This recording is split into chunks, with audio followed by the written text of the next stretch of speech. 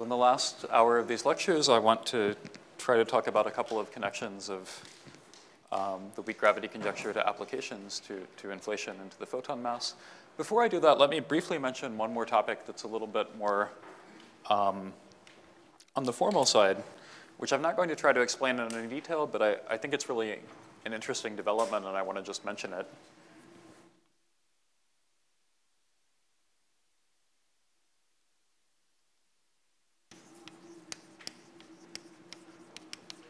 Which is a connection that's been emerging over the last few years between the weak gravity conjecture and the idea of cosmic censorship.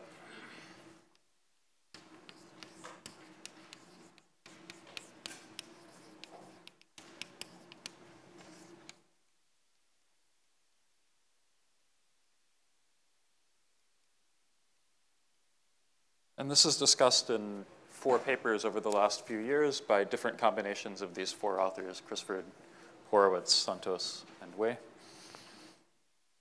And let me just briefly sketch what, what they've found.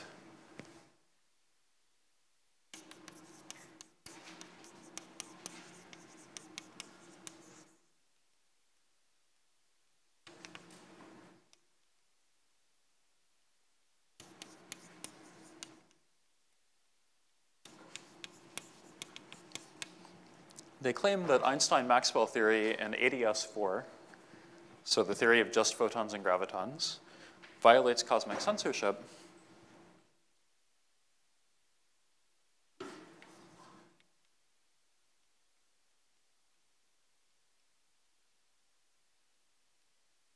And the way they find these solutions that violate cosmic censorship is they turn on a boundary gauge field, which has some radial profile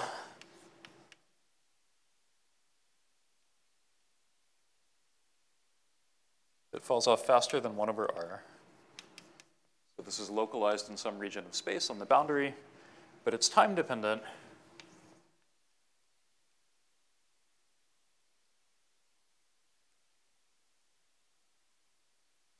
And they gradually increase the amplitude of this boundary gauge field and see how the bulk solution responds. And what they find is that above some critical value, A max, they can't find any well-behaved static solutions, and when they search for this time-dependent solution, they find that curvatures grow arbitrarily large.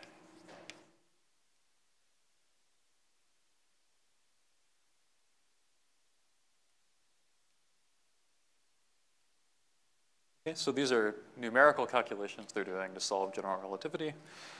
Um, and so they find that cosmic censorship is violated in a four-dimensional theory.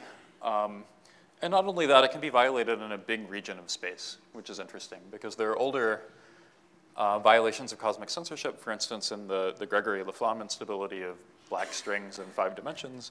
But those are always things sort of very localized. Um, whereas this can happen over a big region.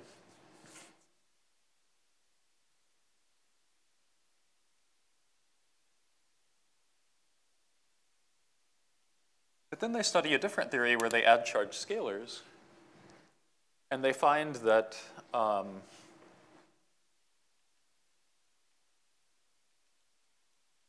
scalars can have inst instability. So first they compute quasi-normal modes, and they find the imaginary part of the frequency can uh, become positive, so the modes are growing exponentially in time.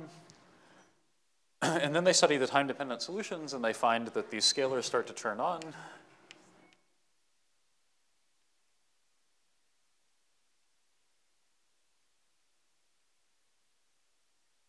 And basically, they screen the deep interior of the bulk against the effects of this boundary gauge field.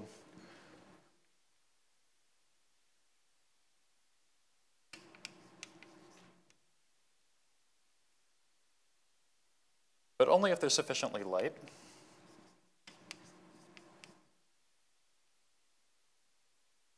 So they've quantitatively tried to find what does sufficiently light mean. What they find is the condition for this to happen is equivalent to the weak gravity conjecture in three examples. First, the case with just the, U, the U1, then a case with the U1 with a dilaton, and finally in a U1 times U1 example where they check the convex hull conjecture. And in the case with the dilaton, what they're finding again is that these scalars need to be super extremal, so it's the thing I was referring to as the weak gravity conjecture rather than the alternative uh, conjecture, which would be a repulsive force conjecture. So I find this really interesting because it's taking another longstanding um, conjecture about gravitational theories, the cosmic censorship conjecture, and showing that there's some close relationship between that and the weak gravity conjecture. Um, and I don't think it's fully understood why this is true.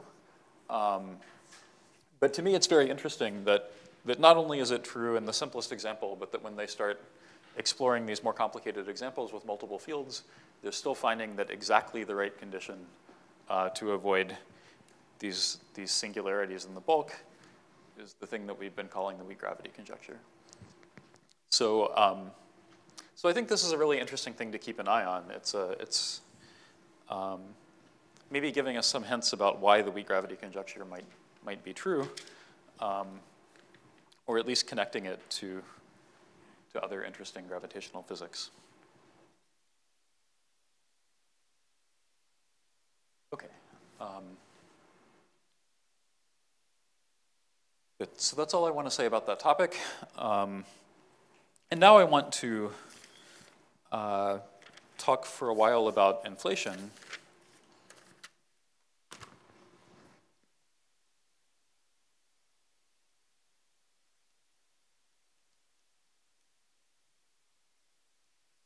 And the reason for talking about inflation is that it's one possible application of the weak gravity conjecture.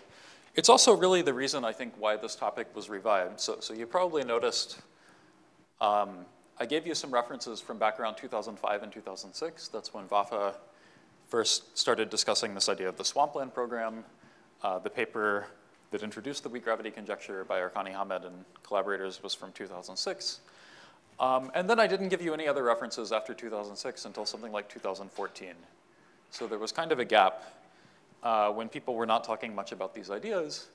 And then about five years ago, there was a big revival and there was a lot of interest in these ideas. And the reason why a lot of people got interested, um, certainly the reason why I started working on, on these topics, um, was because of the BICEP experiment. So you might remember the news in 2014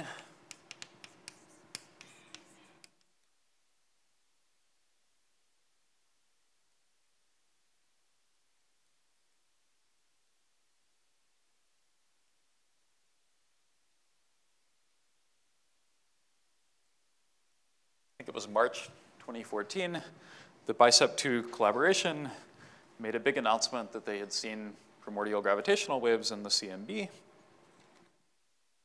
Um,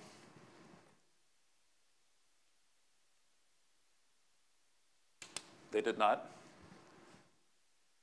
It turned out they were seeing effects of dust in the galaxy that was producing a signal that mimicked the effects of primordial gravitational waves.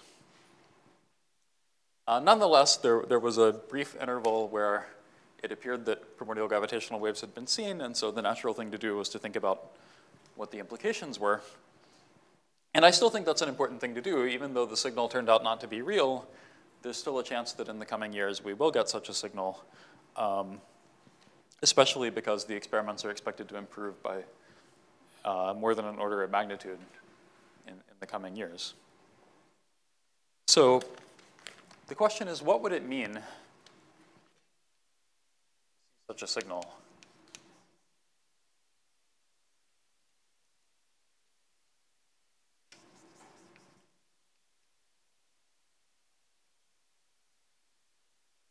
And some answers to this question were, were given already um,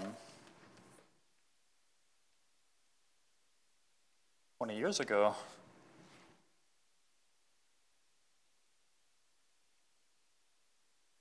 Paper by Lyth. So let me tell you a bit about the physics of inflation. Um,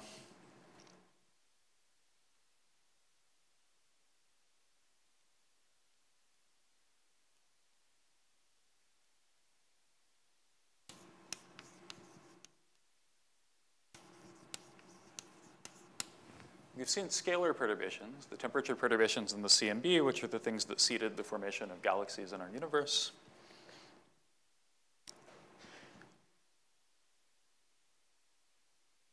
And um,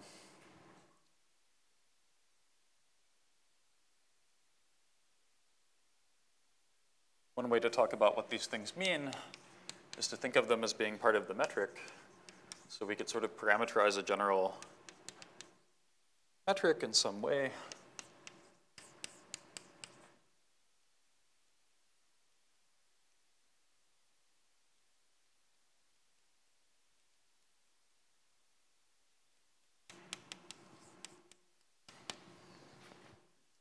The metric contains both scalar perturbations, phi or this field psi,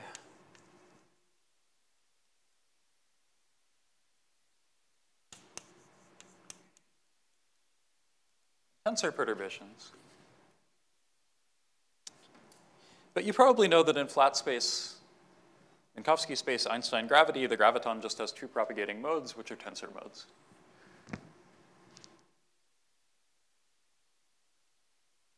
So Minkowski, or in de Sitter, there are only tensor modes.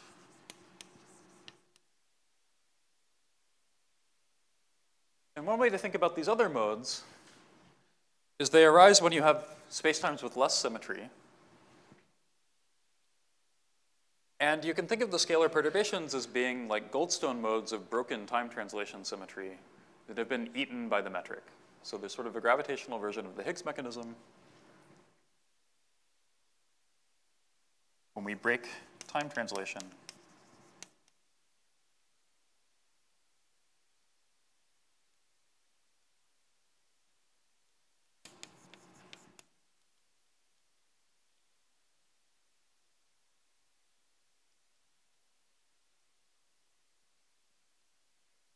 the graviton sort of eats a scalar mode.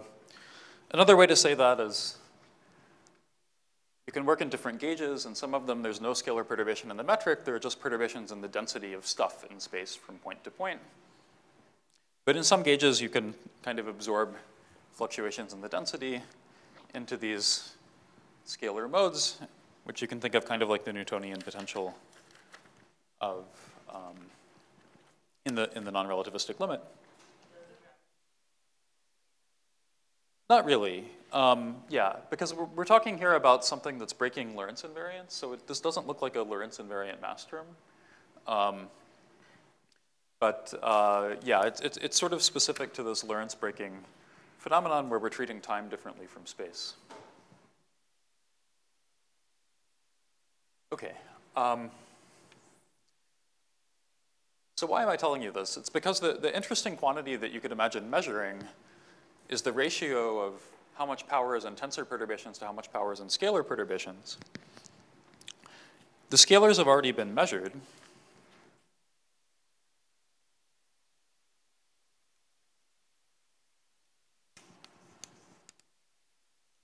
Quantity, call it P subscript S, the power in the scalars, which is measured to be something like a few times 10 to the minus 9 I would have to tell you exactly how I'm normalizing things to, to completely make sense of this. But if you ask, what does this tell us about inflation?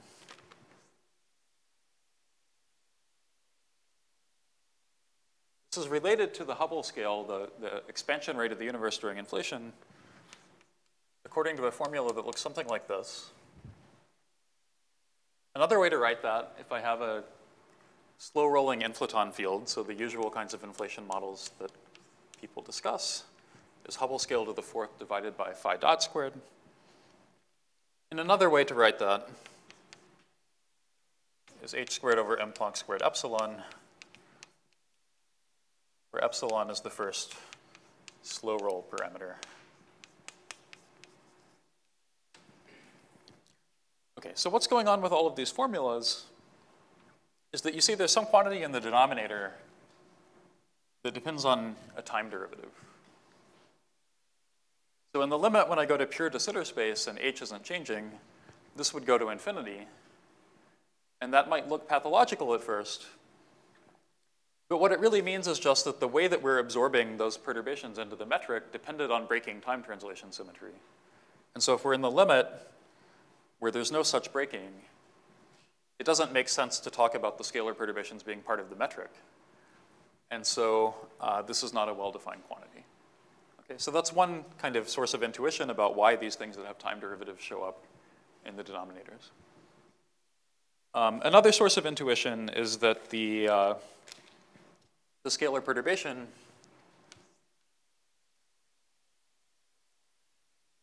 and um, usually given a name like zeta, and one way to write it in a gauge invariant way something like that. So that's showing you that it's uh, a combination of something that appears in the metric and something that depends on density perturbations. But it turns out that with some assumptions that I'm not going to try to explain too carefully, zeta is basically the same as something called delta n, which is the fractional, um, well, not fractional, but the, the, the difference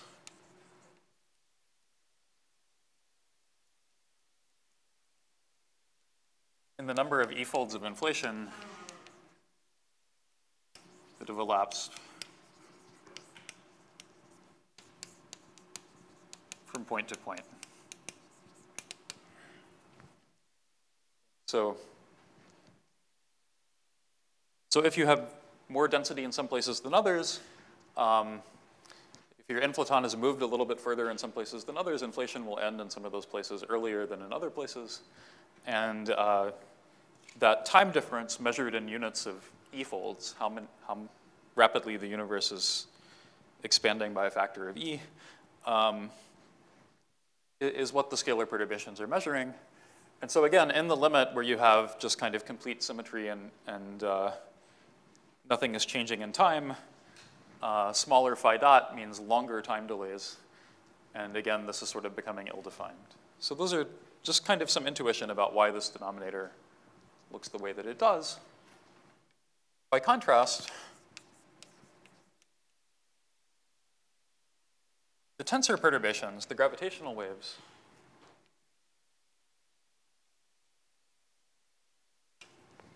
have a power that just goes like h squared over m Planck squared.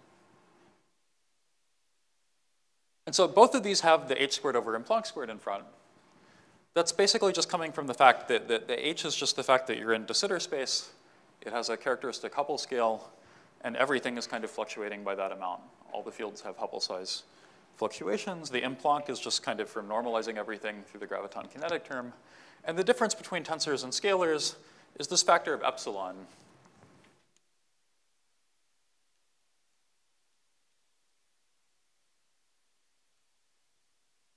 Ratio of tensor power to scalar power is proportional to epsilon, where epsilon basically how fast the Hubble scale during inflation was changing in a Hubble time. Okay. So first, it's not surprising that we've seen scalar power before we saw tensor power. Tensor's power is smaller in slow roll inflation by this small number epsilon. And we don't know how big epsilon is because we haven't measured this yet. So what we know about inflation is the energy scale during inflation went like h squared and Planck squared. And this is like epsilon times the scalar power, which we've measured, some number of order 10 to the minus 9 in Planck units. But until we know what epsilon is, we don't really know what the energy scale during inflation was. So why was BICEP exciting? Well, first, if you measured epsilon, if you measured the tensor to scalar ratio, you know how big epsilon is, and then you know the energy scale during inflation. So if we saw tensor modes,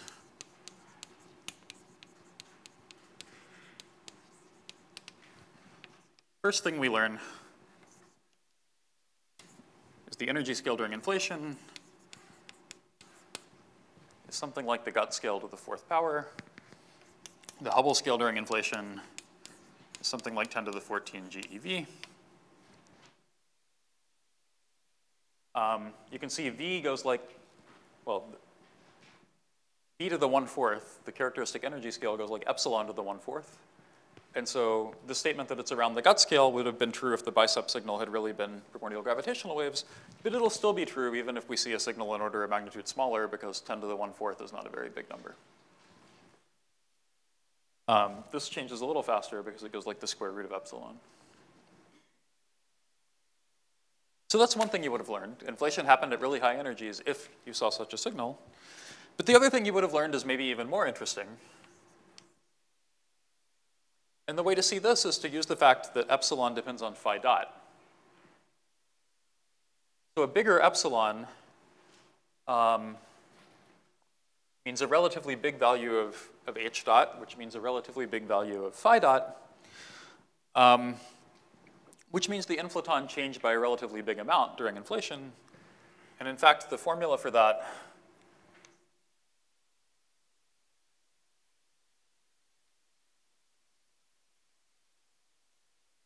use the number of e-folds as our time variable, but d phi dn phi dt times 1 over the Hubble scale. See from this, d phi dt is related to epsilon.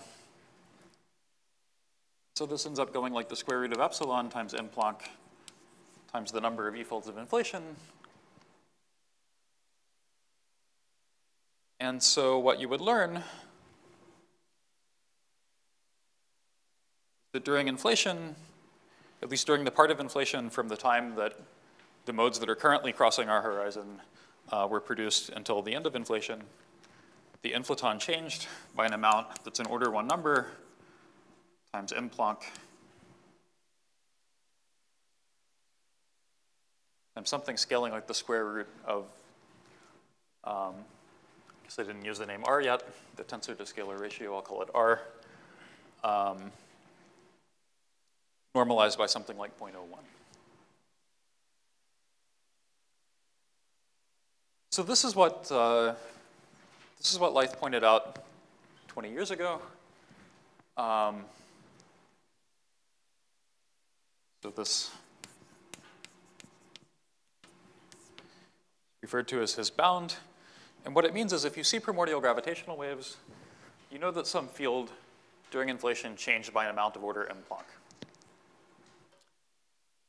And that is why there was this revival of thinking about the swampland ideas at the time that BICEP claimed that they saw the signal.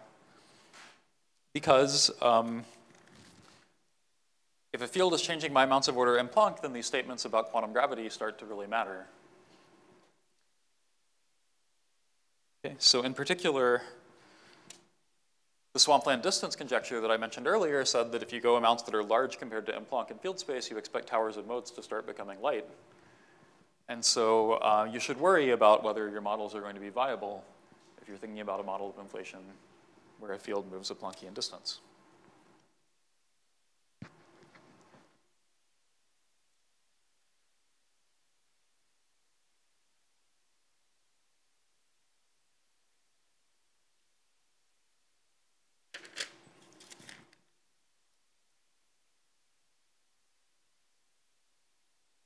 Um, so if you tried to build a model where field moved a Planckian distance, the first thing you see is you can't just write down a generic effective field theory, because if I start writing down v of phi is 1 half m squared phi squared plus lambda phi to the 4 plus something over m Planck squared phi to the 6th plus something over m Planck to the 4th phi to the eighth, and so on.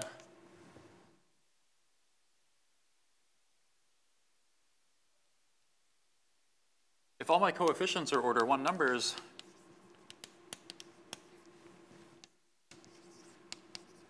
this cannot really be an inflation model. Because I'm just going to have, when my field starts traversing distances of order m Planck, all of these different terms are going to be important, and my potential is not going to be a nice smooth thing. It's going to be kind of fluctuating on scales of m Planck. and I don't have a flat region that I can use to inflate. And so what had been appreciated for a long time is if you want to build a model of inflation that can produce gravitational waves, you need some kind of underlying symmetry that explains why your potential is flat enough over such a big field range that it's viable for inflation.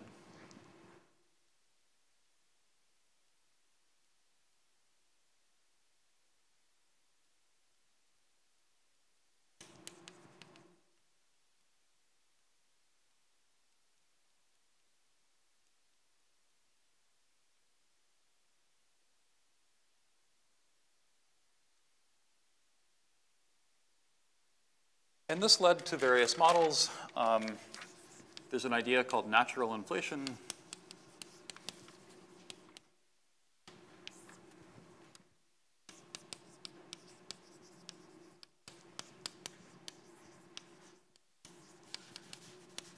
due to Frieman, Freese, and Olinto in 1990,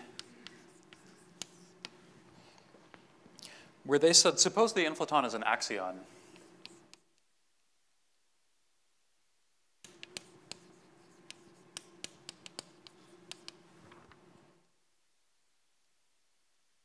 So it's a periodic field. Phi is equivalent to phi plus 2 pi f. Then your potential has to be built out of periodic things. And we kind of know how this works from the QCD axion. You might expect um, might expect some potential that depends on some kind of characteristic confinement scale to the fourth power times the cosine of your field and then maybe some corrections that go like cosine of twice your field. Um, and as long as the coefficients decrease fast enough, this can give you a nice, smooth, kind of periodic potential that can be used to have a model of inflation.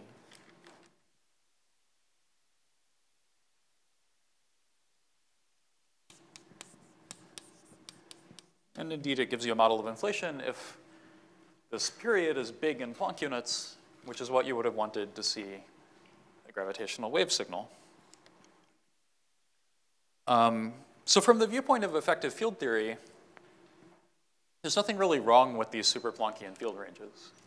You need a symmetry to protect things, but if you can tell me that there is some underlying symmetry, like this kind of approximate shift symmetry that comes from the period of the axion, uh, then everything can be under control.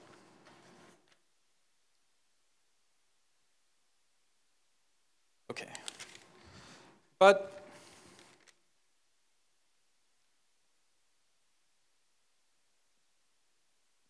people started looking for these kinds of models in, in string theory.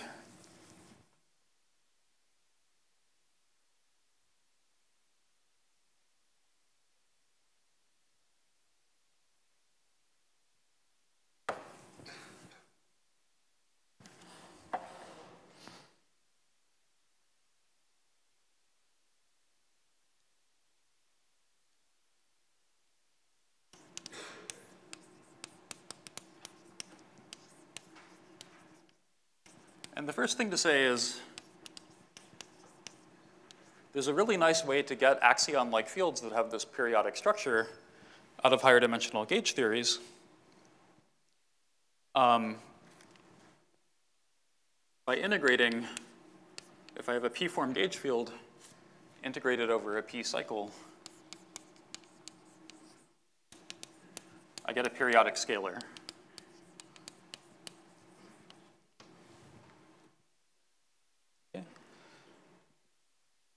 So maybe the, the easiest one to explain is if I, if I just have a circle as my extra dimension and I integrate along the coordinate of that circle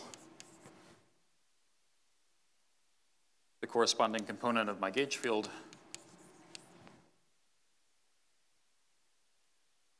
Then if I do a gauge transformation,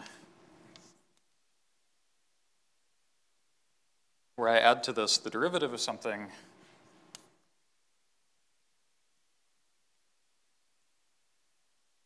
where this gauge function alpha winds around the circle.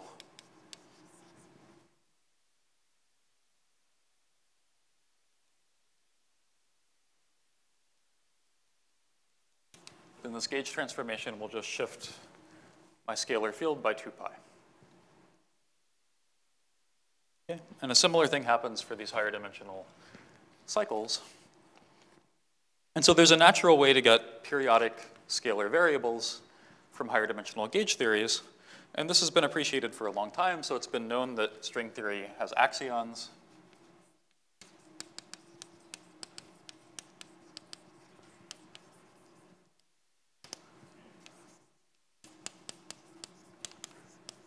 Witten pointed this out already in 1984.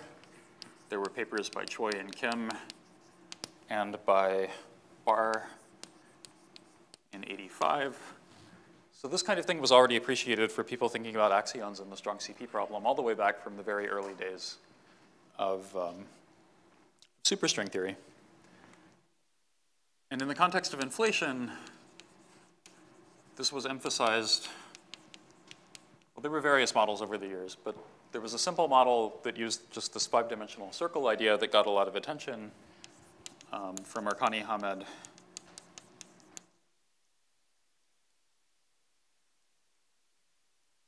Chung and Randall in 2003. Okay, so all the ingredients are there in higher dimensional gauge theories to give you periodic scalars that are good potential candidates for inflation. And so from the point of view of just building models and doing effective field theory, these are fantastic models. There's nothing wrong with them. Um, however, when people tried to find models like this in string theory, it proved to be very difficult. And the difficult part was getting the period to be big in Planck units.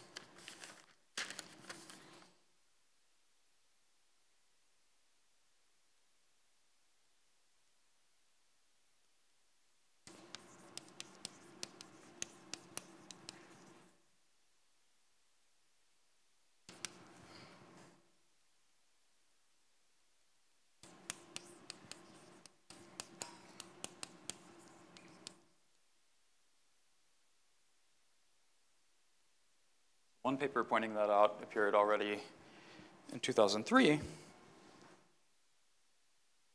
And um, already in the first paper about the weak gravity conjecture, Connie Hamed, Motl, Nicolis, and Vafa tried to give an explanation for why this might be true. And the explanation was if we start with a higher dimensional gauge field that we're getting an axion field from in this way, we can ask what gives rise to the mass of that axion? And the answer is that the mass is coming from charged particles in the higher dimensional theory that run in loops. The particles in their Kaluza-Klein modes run in loops and correct the, the mass of the lower dimensional axion field. And there's a nice way to think about this calculation, at least in the limit when those particles are heavy, uh, which is that the potential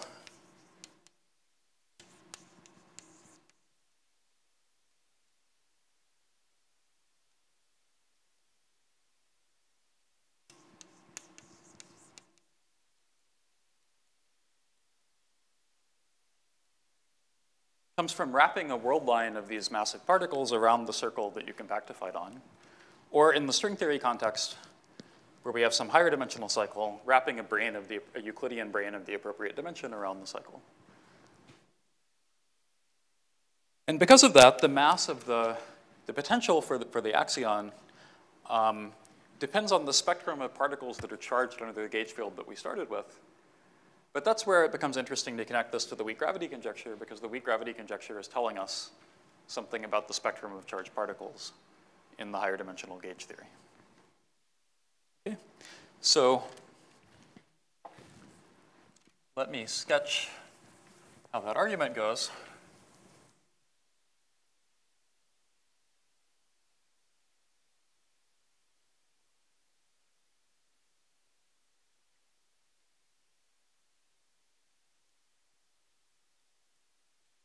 In the case where I just compactify from 5D to 4D,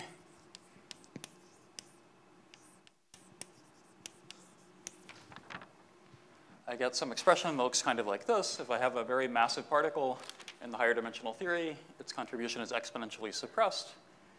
It gives me a cosine of the axion field. I can think of this exponent as the action for the Euclidean world line wrapped on the circle. And so then there will be higher order terms that are more exponentially suppressed. If I wrap the particle n times, I get something that has an e to the minus n times this instanton action. But what they observed is the, the weak gravity conjecture in five dimensions tells me that there's some particle whose mass squared is less than the gauge coupling in five dimensions times charge squared times the 5D Planck scale cubed. I've mostly been writing formulas like this in four dimensions, so I've been writing it squared, but it generalizes to the d minus 2 power in d dimensions.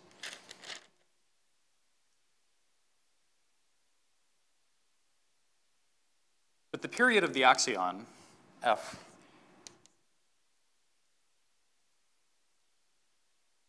you can work out just by dimensionally reducing the kinetic term of the gauge field in five dimensions, the kinetic term for theta in four dimensions, and you find that f depends inversely on the radius of your compactification and on E5 squared.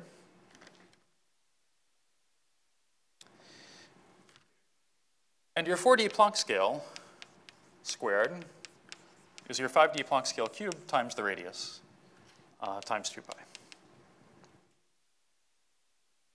Okay. So, so what they observed was if I just multiply this inequality on both sides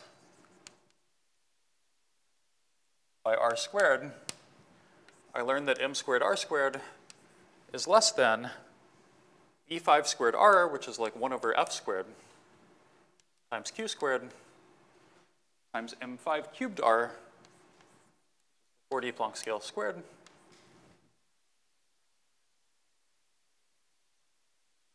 If I want f bigger than m Planck, I find mr is less than 1. and the instanton action is not large. And I can't trust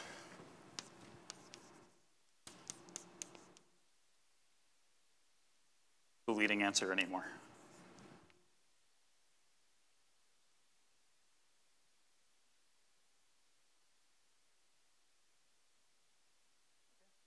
So this argument was given in the, in the original paper on the weak gravity conjecture. And um, what it shows you is that you should at least be careful about building models of inflation that come from higher dimensional gauge fields where you're trying to get a super Planckian field range. Um, because there are generically going to be some set of corrections in these theories that are hard to control. Now that doesn't mean that it's impossible. And in particular, in this 5D example, De La Fuente, Saraswat, and Sundrum, 2014, pointed out that if you just do the loop calculation,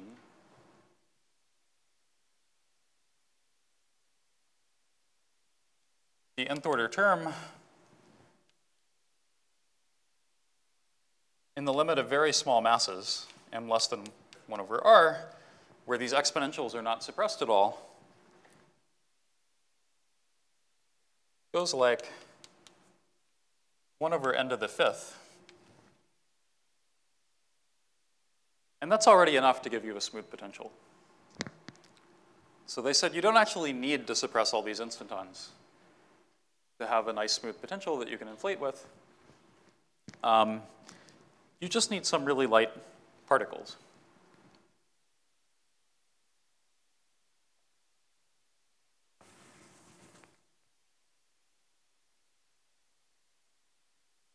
Okay, so story is more complicated than that. Um, there's been a lot of back and forth over the last five years between people trying to cook up clean swampland arguments against inflation models and other people trying to build explicit models that get around the bounds. Um, and I'm not going to go into that in any more detail because in the last uh, 15 minutes or so, I want to change topics and tell you about a different application.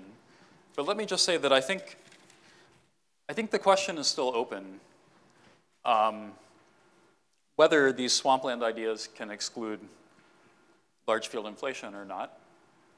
Um, there are various constructions in string theory, like axion monodromy, that claim to build things that have very big field ranges, but then you have to start worrying about back reaction problems, and it's still a very active discussion of what the constraints are.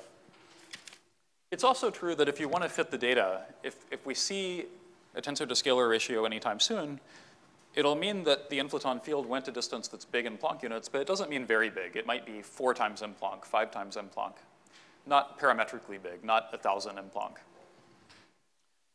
And so it's right around the border always. And these arguments always have kind of squiggles in them. And so it's not so clear that they're good enough to tell you that you can rule out theories where an inflaton field goes four or five times in Planck. Um, but I think if nothing else, the virtue of these kinds of arguments is they're making people look at the string constructions of inflation models with more scrutiny and be more careful about back reaction. And I think it's leading to um, it's leading to progress in thinking about what realistic models would actually look like.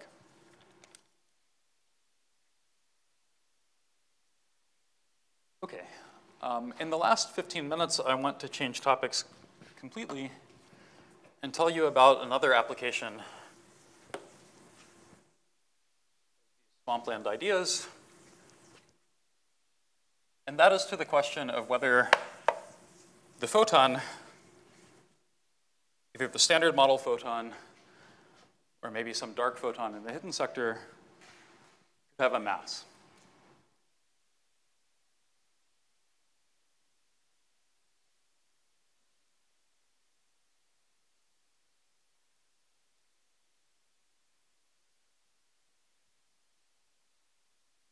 So why is this an interesting question? Um, If we ask about non-abelian gauge fields, if I give gluons a mass,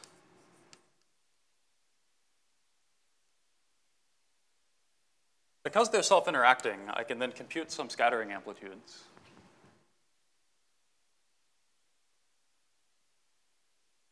I can scatter longitudinally polarized massive spin one particles. What I find is an amplitude that goes like the gauge coupling squared times the energy squared divided by the mass of the particle squared.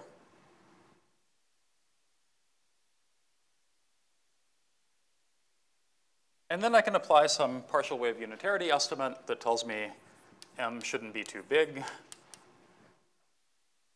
And what I learn is there's a UV cutoff on my theory at energies below um, The theory breaks down at high energies, but the scale at which that breakdown appears is no larger than something like square root of 8 pi m over g.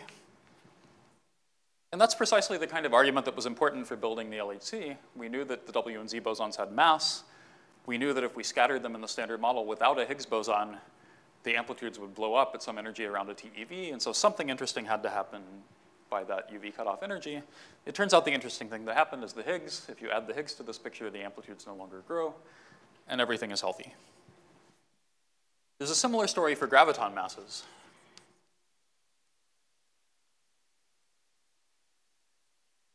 Um, if I give gravitons a mass,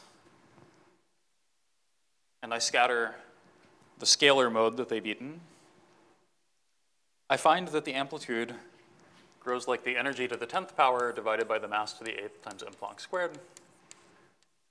And I have a cutoff below some energy scale. It's somewhere in between the graviton mass and the Planck scale, but it's a lot closer to the scale of the graviton mass itself.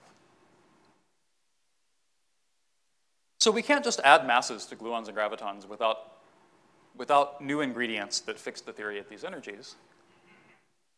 Different thing about photons is that in effective field theory, photon masses are harmless. If I just add a mass to the photon and do nothing else, make no other changes to the theory, I could make changes that would be harmful. I could add an a squared squared. I could add a Ricci scalar times a squared. I could do various things. Um, but if I just add the mass and nothing else, and then I compute scattering amplitudes, absolutely nothing goes wrong. There's no associated UV cutoff. I get a perfectly healthy field theory. And so we always assume that the standard model photon is massless. But in field theory, there's no reason it has to be. I could just add a mass to it, and nothing goes wrong with my theory. There's no U1 gauge invariance, but we don't need gauge invariance if we don't have massless spin 1 particles. And so for the standard model photon, the best argument I can give you for why you should believe the photon mass is zero is that experiment says the mass is very small.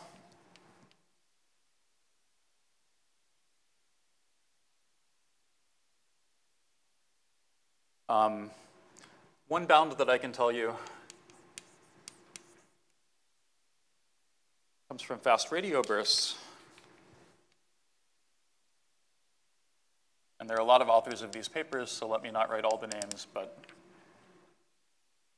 paper by Wu, Zhang, and various collaborators in 2016, and a paper by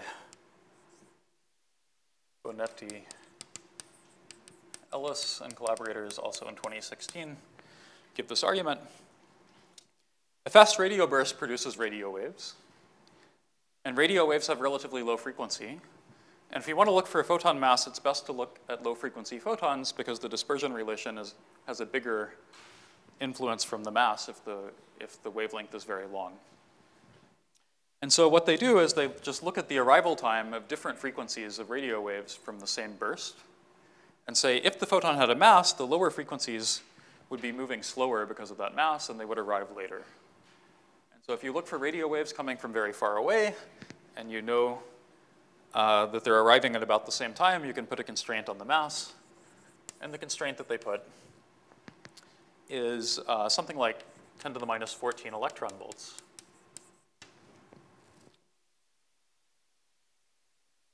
There are claims of stronger constraints on photon masses in the literature. So this is not the strongest one, but this is kind of the easiest to explain. It's very kinematic. Um, others depend on magnetic fields, and then you have to ask questions about, would the theory that allows a photon mass allow vortices, and there are all kinds of debates about exactly how strong the bounds are, but this one is a very solid bound because it doesn't depend on anything except kinematics. So if the standard model photon has a mass, the mass has to be ridiculously small compared to all the other scales in particle physics. Um, and that's the best field theory argument I know for why you should believe the photon is massless. It's just that if it had a mass, I wouldn't know how to explain that number. It would be a small number that came out of nowhere. Um, but still, if some experimentalist came to me tomorrow and said, I measured the photon mass to be 10 to the minus 19 electron volts to 5 sigma, I wouldn't have a good argument I could tell them for why I believe they're wrong just based on field theory. It would be really weird. Um, but I couldn't say that I know it contradicts anything that we know about quantum field theory. Okay. So, um,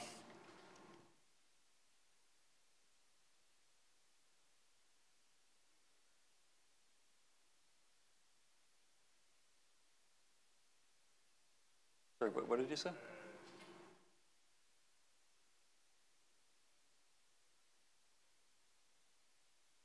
You're saying that there are other bounds that are more precise? But not, not from FRBs, from some other source, or?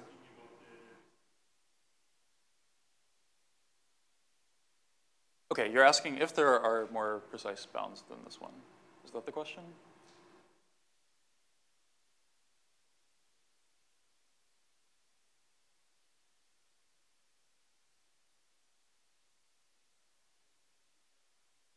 Yeah, so, so there are various claims of stronger bounds, um, both laboratory constraints and things based on like the magnetic field of Jupiter or the magnetic field of the galaxy. Um, so yeah, if you look up review articles on this or if you look in the PDG, you'll find stronger claims. Um, I think 10 to the minus 18 is sort of the strongest claim that, that uh, is commonly accepted. But again, a lot of those others have more interpretational difficulties. So I don't,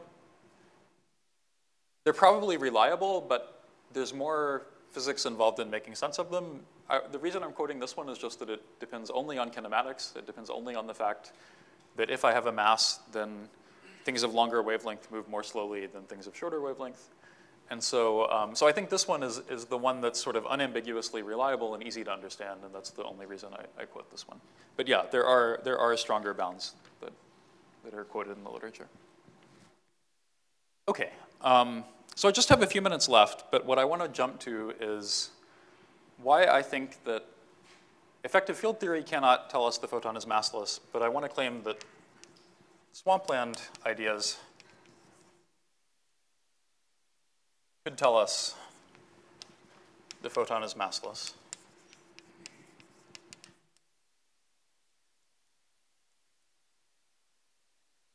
Um, and I don't think these arguments are completely rigorous yet, but uh, at the level that we sort of understand the ideas about the weak gravity conjecture and the swampland distance conjecture, I think this is pretty convincing. So I wrote a paper on this last summer. Um, and the argument is, is the following. One way to give a photon a mass would be through the Higgs mechanism. But if you want to obey a bound like this um, and give the photon a mass through the Higgs mechanism, whatever field is playing the role of the Higgs um, would have to have a super tiny charge compared to the electron charge. So it's, um,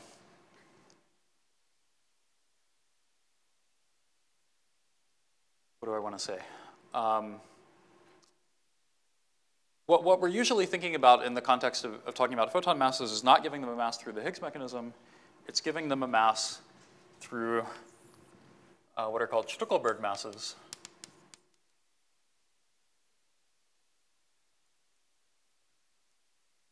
And a Stueckelberg mass is where I take the photon mass.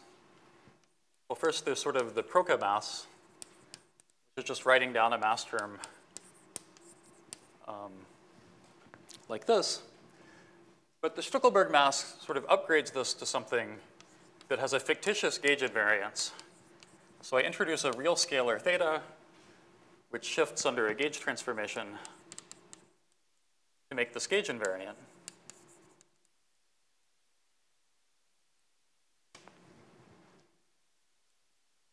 And this is a sort of a fictitious gauge invariance, but if you look at examples of Stueckelberg masses that come from string theory, it seems like there always is some underlying actual gauge invariance.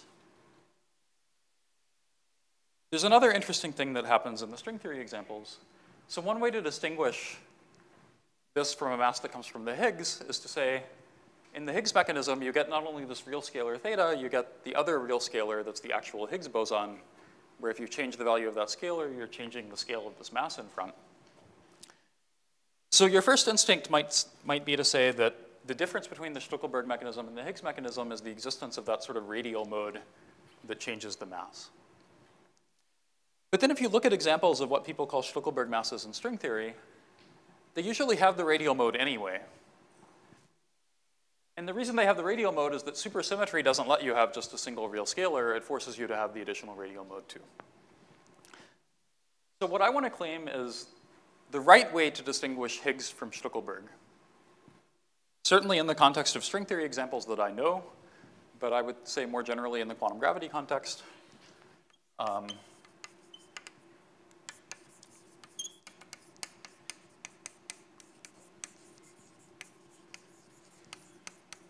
distinction between Stuckelberg and Higgs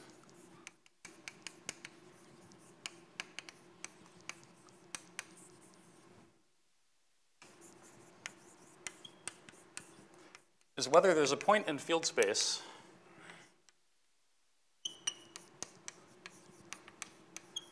where I can send the photon mass to zero which is at finite or infinite distance.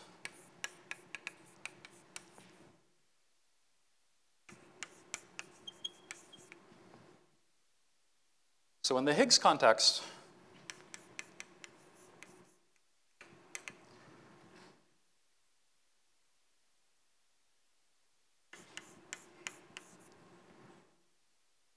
I have a kinetic term for my Higgs that looks ordinary, and it's showing up in the mass term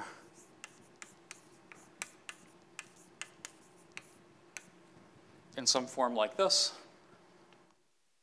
So if I send phi to the origin, that's not the minimum of the potential, but it's still a point in field space.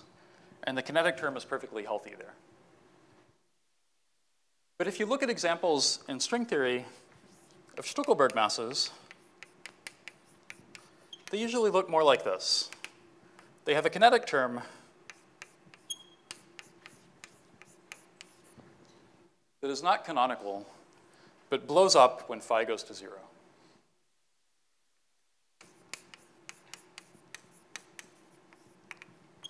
And so the point where the mass goes to zero is infinitely far uh, from any finite value of phi. And this brings us back to the swampland distance conjecture of Ooguri and Vafa, where they say that if you go infinitely far in the space of some scalar field, there's always going to be some tower of modes that become light. And in fact, that's true. If you look at any example of a Stuckelberg mass for a U1 gauge field in string theory, uh, any example I'm familiar with at least, uh, if you can't just interpret it as a Higgs mechanism, if it's really distinct, it's this kind of case where the point where the mass goes to zero is not really part of your field space, it's infinitely far away, and if you try to go there, you find a tower of modes that becomes light. And I'm really out of time, but let me just briefly give you the punchline.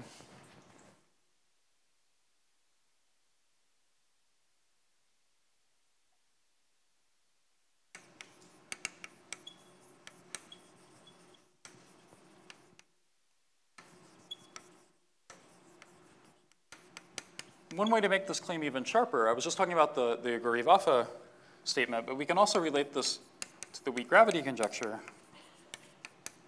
by saying that these Stuckelberg masses can always be rewritten in the form of what's called a BF theory, where B is a two-form gauge field. The objects charged under that two-form gauge field are strings, the relationship to this picture is the scalar field theta can be dualized to the two form. If I have a string that's charged under B, as I wind around it, theta winds around from 0 to 2 pi. But now the weak gravity conjecture can be applied to either the original gauge field or the two-form gauge field. And it says E goes to 0 or F goes to 0, both cause my EFT to break down. So I'm restoring some sort of global symmetry in either limit. But the photon mass is just E times F. And so the only way to make it small is to make either that small and run into problems with the weak gravity conjecture for the two form, or to make that small and run into problems with the weak gravity conjecture for the original gauge field. So that's the summary. Um, you can find more explanation and attempts to connect it to phenomenology in the paper I wrote last summer. Uh, but I think it's kind of fun that these swampland ideas can tell us about something about our universe as basic as the question of why is the photon massless. Thanks.